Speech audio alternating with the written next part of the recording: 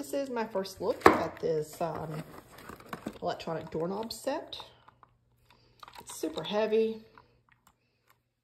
It's got these uh, rubber pieces, so it's going to stick to the doorknob really well. It's on both pieces. You can see here that all the hardware is labeled um, by steps. So you've got step two, 3.1, 3.2. You are able to determine which direction you want the lever. So you're going to decide that before you install it. This is a key card. It will unlock the, um, the, the doorknob just by swiping it. And you also uh, get backup keys. Uh, just saw them. But those are kind of a worst case scenario kind of thing. There they are. Everything is really well packaged. It comes in this kind of sculpted, padded box um, that fits all the components.